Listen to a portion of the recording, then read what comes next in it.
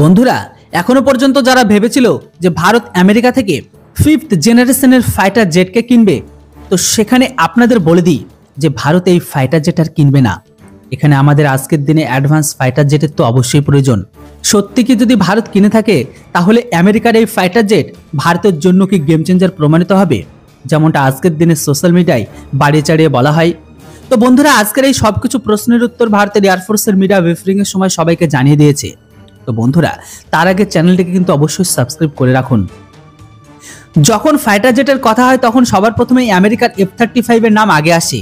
কেননা Lockheed Martin এমনভাবে F thirty ফাইভের মার্কেটিংকে করেছে যে আমেরিকার থেকে বেশি অন্য দেশের লোক এটির সম্পর্কে জানে। যাই হোক এফ থার্টি ফাইভ একটি মাল্টিরোল ফাইটার জেট যেটিকে ডিপ স্ট্রাইক মিশনের জন্য বানানো হয়েছে। এই জেটের ডিজাইন ল্যাঙ্গুয়েজ এমনভাবে করেছে, যেটি অ্যাডভান্স ফাইটার জেটের সাথে সাথে একটি ফিউচারিস্টিক ফাইটার জেট এর ক্ষমতার স্টেলথের কারণে পুরো বিশ্ব এটিকে পছন্দ করে। আর আজকের দিনে আটটি দেশ এটিকে ব্যবহার করে। তবে এই লিস্টের ভারতের নামও যুক্ত হতো, যদি ভারত এফ থার্টি ফাইভকে কিনত। তো ভারতের বায়ুসেনা কেন এই কিলিং মেশিনের হাত থেকে বাঁচতে চায়? আর কেনই বা ভারত নিজেদের স্টেলথ ফাইটার জেটকে বানাচ্ছে? তো এর কিছু কারণ এয়ারফোর্স সবার সামনে রিভিল করেছে।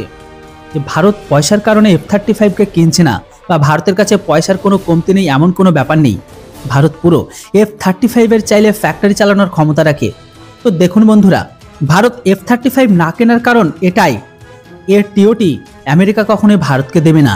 এমনকি ভারত আমেরিকার সাথে প্রস্তাব রেখেছে যে আমরা আপনাদের এফ থার্টি ফাইভকে অবশ্যই কিনবো। কিন্তু আমাদের অ্যামকা প্রোগ্রামে সাহায্য করতে হবে, বিশেষ করে ইঞ্জিনকে নিয়ে।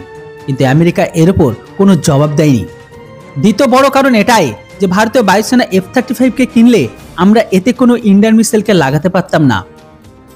লকিড মার্টিনের বক্তব্য যে আমাদের ফাইটার জেট এই সমস্ত মিসাইল যুক্ত হবে, যেগুলি আমরা বানিয়ে থাকি। এফ থার্টি ফাইভের সাথে বাইরের কোনো মিসাইলকে যুক্ত করার পারমিশন আমরা দেব না। তৃতীয় কারণ এটাই যে এই ফাইটার জেটটিকে কেনার পরেও এর অ্যাক্সেস আমেরিকা কাউকে দেয় না। এমনকি কখনো কখনো এই ফাইটার জেটের ফ্লাইং রেকর্ডও তারা নিজেদের কাছে রাখে, যেটি জোচ্চুরির থেকে কোনো অংশ কম নয়।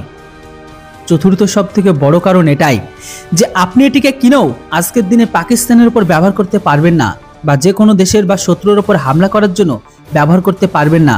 সেই জন্য এটিকে আমেরিকার পারমিশনকে নিতে হবে। আর আমেরিকা তো কখনো এটিকে পাকিস্তানের খেলাফ ব্যবহার করতে দিবেও না। মানে হাজার কোটি টাকার এই স্টেলথ ফাইটার জেটকে কিনে এটিকে আপনারা খুব বেশি পেট্রোলিংই করতে পারবেন। বাকি সব আমেরিকার হাতে থাকবে। তো অপরদিকে আমেরিকার F thirty five spare part এই ফাইটার জেটের থেকেও বেশি দাম। তো অপরদিকে আমেরিকার এফ থার্টি ফাইভের স্পেয়ার পার্ট এটির থেকেও দাম বেশি। কিন্তু বর্তমান সময়ে লকেটের পয়সার কমতির কারণে এফ থার্টি ফাইভের স্পেয়ার পার্টের আকাল পড়বে। আর যে পার্টগুলো অ্যাভেলেবেল আছে, সেগুলো দুই গুণ বেশি দাম দিয়ে বিক্রি করছে। এই কারণেই তো এফ থার্টি ফাইভ একটি ভালো ফাইটার জেট হওয়ার পরেও এটির মেনটেনেন্স এটিকে নিয়েও যে তারা নিয়ম বানিয়ে রেখেছে, সেটিকে কেনার জন্য অনেক বড় বাধা তৈরি হয়। তো এবার একবার আপনারাই ভাবুন। আপনি হাজার হাজার কোটি টাকা দিয়ে একটি ফাইটার প্লেনকে কিনে যদি সেটাকে আপনার শত্রুর খেলাফ ব্যবহার করতে না পারেন বা ব্যবহার করার জন্য সেটি আমেরিকার কাছে পারমিশন নিতে হয়, তাহলে এই দামি ফাইটার জেট কিনে ব্যবহার করার মানেটা কি?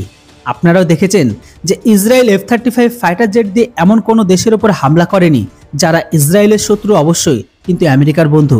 তো বন্ধুরা, এবার সবকিছু শুনে আপনারা বলুন আমেরিকার এই ফাইটার জেট কি কি ভারতের কেনা উচিত? না দেশের তৈরি আমকার উপর ফোকাস দেওয়া উচিত? অবশ্যই এর উপর আপনাদের মতামত কমেন্ট বক্সে লিখে জানান।